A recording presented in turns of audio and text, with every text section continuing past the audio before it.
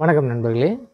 Lesson one எலக்ட்ரோஸ்டாட்டிக்ஸில் example problem one point five ஒரு சர்க்கிளில் நாலு சார்ஜை ப்ளேஸ் பண்ணுறோம் நாலுமே ஈக்குவல் சார்ஜ் எவ்வளவுனா ஒன் மைக்ரோ கூலும் இந்த சர்க்கிளினுடைய ரேடியஸ் கொடுத்துருக்காங்க ஒன் மீட்டர் இப்போ கொஸ்டின் என்னென்னா நீங்கள் இந்த கியூ ஒன் மீது இருக்கக்கூடிய டோட்டல் ஃபோர்ஸை கண்டுபிடிக்கணும். அப்போ இதில் டோட்டல் ஃபோர்ஸ் எப்படி இருக்கலாம்? எஃப் வெக்டார் நமக்கு வந்து வெக்டார் சம் பண்ணணுன்னு இருக்கான். அப்போ இங்கே பாருங்கள் இந்த ரெண்டு கடையில் ஒரு ஃபோர்ஸ் இருந்திருக்கும். அதை எப்படி எழுதலாம்? Force on one by two F one two vector அதே மாதிரி இந்த ஃபோர் இந்த ஒன் மீது ஒரு ஃபோர்ஸை எக்ஸைட் பண்ணியிருக்கோம். அதை எப்படி எழுதலாம்? F on one by four அது ஒரு ஃபோர்ஸ் ப்ளஸ் இப்போ நீங்கள் என்ன பண்ணுங்கள் இந்த க்யூ த்ரீயும் இது மீது ஒரு ஃபோர்ஸை ஸ்ட்ரெயிட் லைனில் இப்படி போட்டிருக்கோம். அப்போ அதை எப்படி எழுதணும்?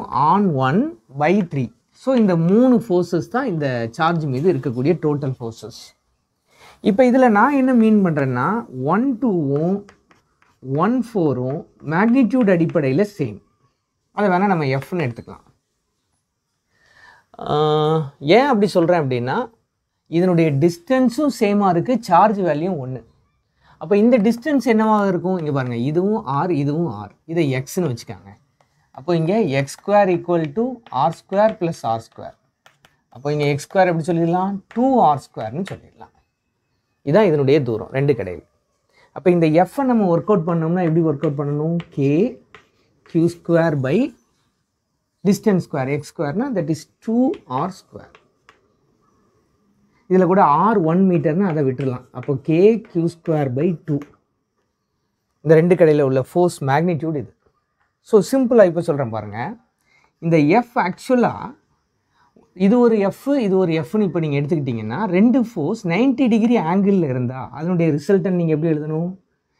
எஃப் ப்ரைம்னு எடுத்துகிட்டு that is root two F மறந்துடாதீங்க. ரெண்டு வெட்டார் ஈக்குவல் மேக்னிடியூடில் இருக்குது அதுக்கடையில் ஆங்கிள் நைன்ட்டினா அதனுடைய ரிசல்டன் வந்து ரூட் டூ எஃப் ட்ரையாங்கிளில் வச்சு போட்டிருக்கேன். பெரிய எக்ஸ்ப்ளனேஷன் வேண்டாம். டேரெக்டாக இப்படியே போங்க. எல்லா இடத்துக்கும் இது சூட் ஆகும். ஸோ அப்படியே போனீங்கன்னா அப்போ இங்கே என்ன வந்துடணும்? கே கியூ ஸ்கொயர் இங்கே மேலே ஒரு இங்கே ஒரு ரூட் டூ எடுத்துகிட்டு பை டூ போட்டுருங்க.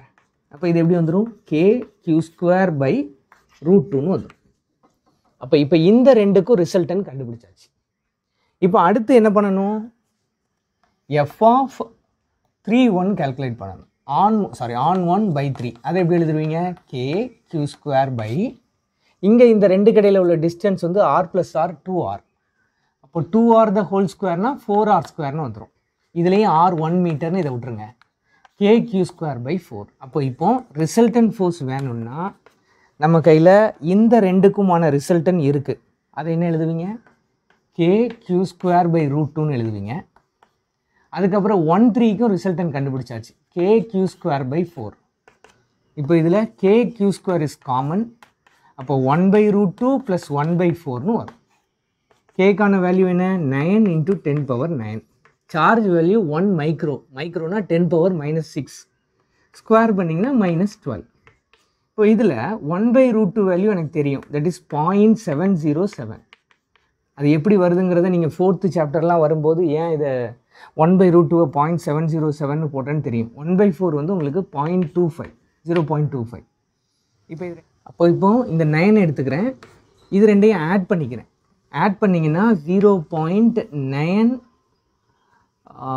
five seven வருது. இங்கே ஒரு டென் பவர் மைனஸ் த்ரீ இப்போ இது ரெண்டையும் மல்டிப்ளை பண்ணிட்டீங்கன்னா ஆல்மோஸ்ட் உங்களுக்கு ஆன்சர் பார்த்தீங்கன்னா எயிட் பாயிண்ட் சிக்ஸ் ஒன் கிட்ட வரும். நீங்கள் மல்டிப்ளை பண்ணி பார்த்துக்கலாம். Into ten power of minus three newton இப்போ இதை நீங்கள் வெக்டாரில் சொல்கிறதுனால இதனுடைய டைரக்ஷன் சொல்லணும். இப்போ ரிசல்டன் எந்த பக்கம் இருக்குது எக்ஸ் ஆக்சிஸில் வருது. எக்ஸ் ஆக்சிஸ்னுடைய யூனிட் வெக்டார் வந்து ஐ கேப் அப்போ இதில் நீங்கள் ஐ கேப்னு போட்டிங்கன்னாலே இதனுடைய டைரக்ஷனை சொல்கிறீங்கன்னு அர்த்தம். இவ்வளோதாங்க செம்ம முடிச்சிட்டேன். Right thank you very much